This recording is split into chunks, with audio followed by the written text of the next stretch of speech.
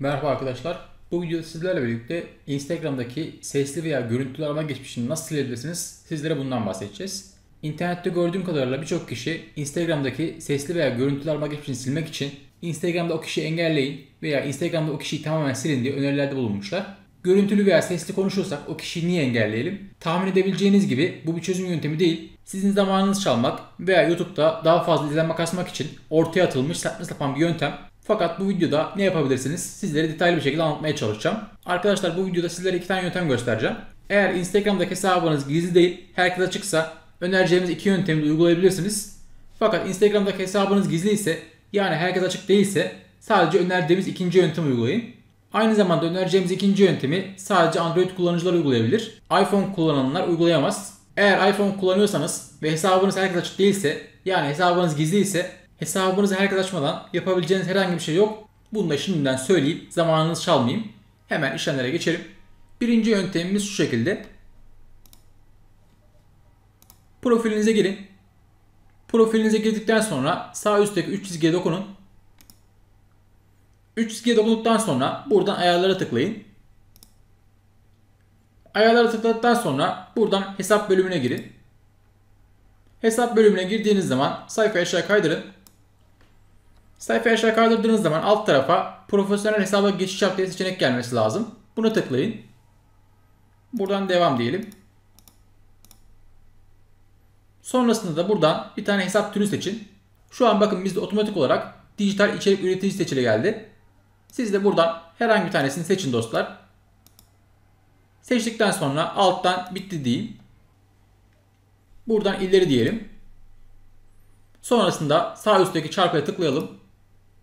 Instagram uygulamasını tamamen kapatın. Şu anda bakın uygulamayı kapattım. Şimdi Instagram'a tekrar girelim. Instagram'da bu şekilde yaparak arama geçmiş bölümünü tamamen gizleyebiliyoruz dostlar.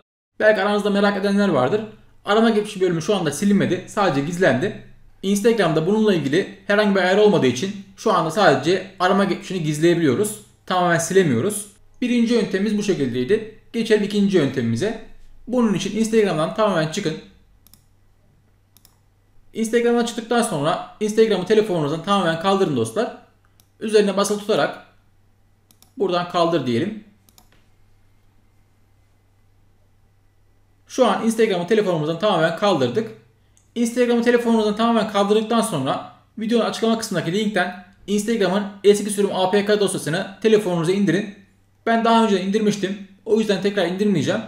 İndirdiğim Instagram eski sürüm APK'sını şimdi telefonuma kuracağım. Telefonumdan indirilenler bölümüne geleceğim. Buradan Instagram APK dosyasını telefonuma yüklüyorum. Buradan yükle diyelim. Instagram'ın eski sürümü telefonumuza şu anda yüklendi. Buradan aç diyelim. Sonrasında buradan hesabınıza giriş yapın.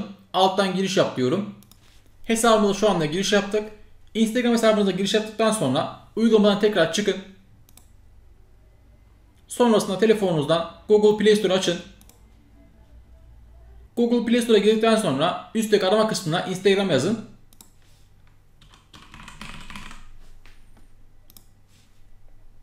Sonrasında buradan Instagram'ı güncelleyelim. Instagram'ı güncelledik. Buradan aç diyelim. Şu anda Instagram'ı açtık. Gördüğünüz gibi şu anda arama geçişi kısmı bizde gözükmüyor. Hesabımız şu anda profesyonel hesap değil, kişisel hesap. Hemen size de onu gösterelim. Buradan profile girelim. Ayarlar. Hesap türü. Bakın gördüğünüz gibi altta profesyonel hesaba geçiş yap diyor. Yani şu anda hesabımız kişisel hesap, profesyonel hesap değil. Fakat gördüğünüz gibi burada arama geçmiş bölümü şu anda gözükmüyor. İkinci yöntemimiz de bu şekildeydi. Gördüğünüz gibi iki yöntem de oldukça basit. Eğer aklınız takılan ve yapamadığınız bir yer varsa videonun altına yazabilirsiniz. Video faydalı olduysa lütfen videoyu beğenmeyi unutmayın. Bir sonraki videoda görüşmek üzere. Kendinize iyi bakın. Hoşçakalın.